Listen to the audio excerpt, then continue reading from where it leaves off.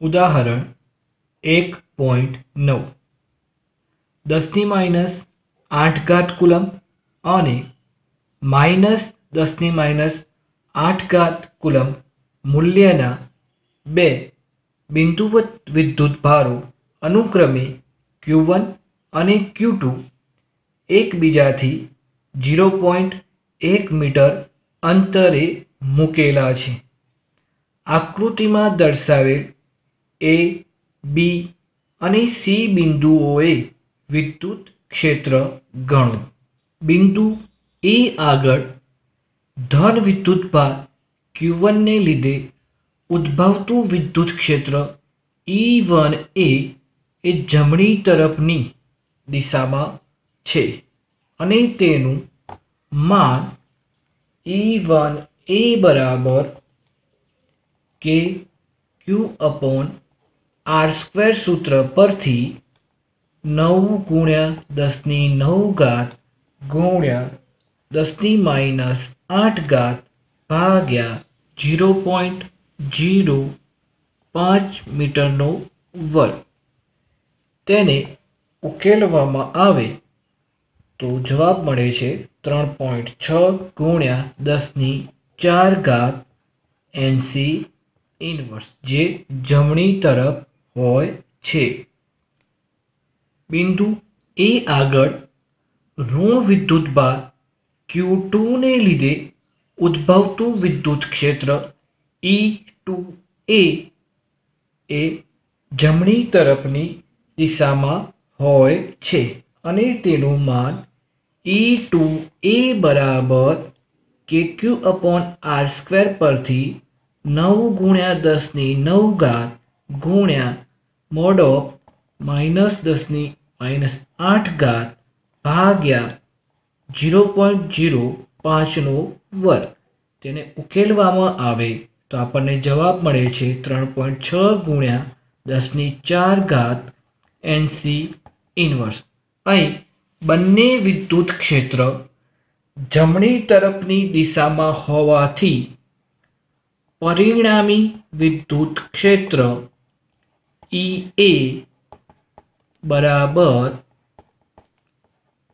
ઈ one એ વત્તા ઈ two એ જેથી પરિણામી વિદ્યુત ક્ષેત્ર ઈ એ બરાબર ત્રણ પોઈન્ટ છ ગુણ્યા દસની ચાર ઘાત વત્તા ત્રણ પોઈન્ટ છ ગુણ્યા દસની ચાર ઘાત બરાબર સાત પોઈન્ટ બે ગુણ્યા દસની ચાર ઘાત એનસી ઇનવર્સ મળે છે. તેથી, ઈ એની દિશા એ જમણી તરફ મળે છે, જેને આપણે ઈ એ વડે દર્શાવીએ છીએ.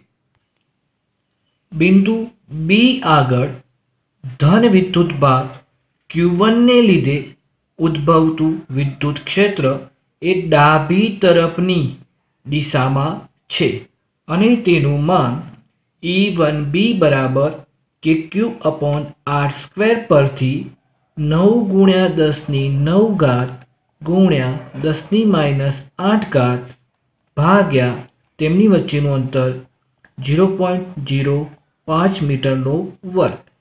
તેને ઉકેલવામાં આવે તો આપણને જવાબ મળે છે ત્રણ પોઈન્ટ છ ગુણ્યા દસની ચાર ઘાત એનસી ઇનવર્સ જે ડાબી તરફની દિશામાં હોય છે.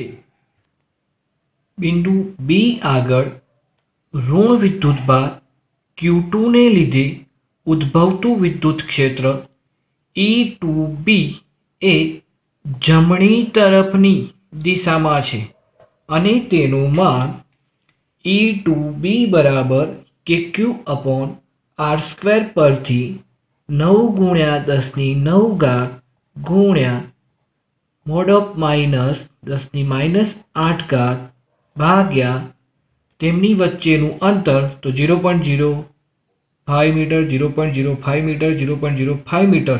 એટલે કે ઝીરો પોઈન્ટ પંદર મીટરનો વર્ગ તેને ઉકેલવામાં આવે તો આપણને જવાબ મળે છે ઝીરો પોઈન્ટ ચાર ગુણ્યા દસની ચાર ઘાત એનસી ઇનવર્સ જે જમણી તરફની દિશામાં વિદ્યુત ક્ષેત્ર દર્શાવે છે. તેથી બી આગળના કુલ વિદ્યુત ક્ષેત્રનું માન ઈ બી બરાબર E one B minus E two B અહીં ડાબી તરફનું વિદ્યુત ક્ષેત્ર એ જમણી તરફના ક્ષેત્ર કરતાં મોટું છે. તેથી ત્રણ પોઈન્ટ છ ગુણ્યા દસની માઇન, દસની ચાર ઘાત ઓછા ઝીરો પોઈન્ટ ચાર ગુણ્યા દસની ચાર ઘાત.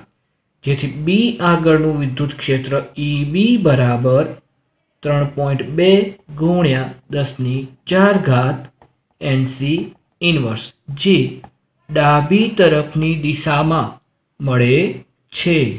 તેથી બી બિંદુ આગળ પરિણામી વિદ્યુત ક્ષેત્ર એ ડાબી તરફની દિશામાં મળે છે. બિંદુ સી આગળ ક્યુ વિદ્યુત ભારને લીધે લાગતું વિદ્યુત ક્ષેત્ર ઈ વન સી એ આ તરફ મળે છે. અને એ જ રીતે ક્યુ ટુ વિદ્યુત ભારને લીધે લાગતું વિદ્યુત ક્ષેત્ર ઈ ટુ સી એ આ દિશામાં મળે છે અને તેમનું પરિણામી વિદ્યુત ક્ષેત્ર ઈ સી જે સમાંતર બાજુ ચતુષ્કોણના નિયમનો ઉપયોગ કરીને શોધી શકાય છે. તેથી અહીં સી આગળના ક્યુ વન અને ક્યુ ટુ વિદ્યુતભારને લીધે ઉદ્ભવતા વિદ્યુત ક્ષેત્રનું માં ઈ વન સી બરાબર ઈ ટુ સી બરાબર કે ક્યુ અપોન આર સ્ક્વેર પરથી નવ ગુણ્યા દસની નવ ઘાત ગુણ્યા દસથી માઇનસ આઠ ઘાત ભાગ્યા તેમની વચ્ચેનું અંતર ઝીરો પોઈન્ટ એક મીટરનો વર્ગ. જેને ઉકેલવામાં આવે તો જવાબ મળે છે નવ ગુણ્યા દસની ત્રણ ઘાત એનસી ઇનવર્સ આ બે સદીશોનું પરિણામી ઈ સી બરાબર ઈ વન સી કોસ ખૂણો મળશે પાય બાય થ્રી વત્તા ઈ ટુ સી કોસ અને એ પણ ખૂણો મળશે પાય બાય થ્રી વડે મેળવી શકાય છે.